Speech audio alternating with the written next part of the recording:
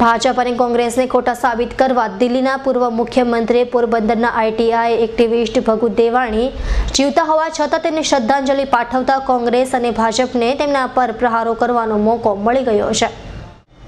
ગુજરાતના પ્રવાસે આવેલા કેજરીવાલે અમદાવાદના બાપુનગર વિસ્તારમાં રેલી કાઢી હતી. ત્યારે તેમણે ત્રણ જીવતા આરટીઆઈ એક્ટિવિસ્ટને શ્રદ્ધાંજલિ આપી હતી અને તેમનું જીવતા જી જગત્યુ કરી નાખ્યું હતું. જોકે કેજરીવાલની આવી ભૂલને કારણે ભાજપ અને કોંગ્રેસ પર આકરા પ્રહારો કરતા કેજરીવાલ સામે બંને પક્ષોને બોલવાનો મોકો મળી ગયો છે. જ્યારે ત્રણમાંથી એક એવા ભગુ દેવાણી પોરબંદરના છે, જેમને કેજરીવાલે શ્રદ્ધાંજલિ આપી હતી. હું ભગુભાઈ દેવાણી એડવોકેટ